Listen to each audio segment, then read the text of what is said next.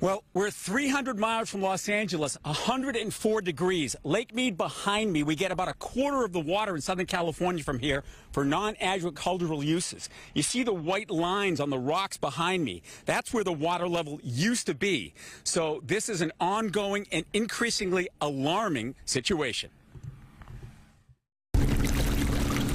This is Lake Mead at historic lows the so-called bathtub ring showing where the water level used to be, a decline that began some 20 years ago and is accelerating, alarming to locals and tourists like Rudd Baker. Yeah, I am a bit worried because the, the water level is rather low. Low? Yeah. Take a look at the dramatic satellite views from space of a shrinking Lake Mead, the nation's largest man-made reservoir, providing water to Arizona, Nevada, California, Mexico, through the Colorado River Project. Lower levels here mean less supply for all customers, whether for agriculture, commercial, or residential use.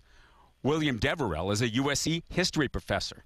So if I'm in Southern California looking at these pictures of Lake Mead, what should I be doing? Conserving water at every chance you get. Um, conserving water at the individual level, conserving water at the citywide or even countywide level, statewide level.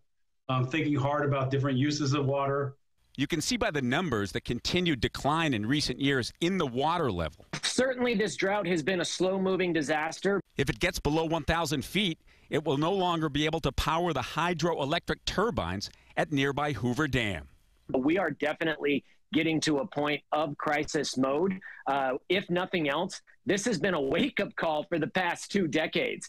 Some of us have woken up and taken the conservation initiative and taken water efficiently seriously. And those of us who haven't done that yet need to do it now.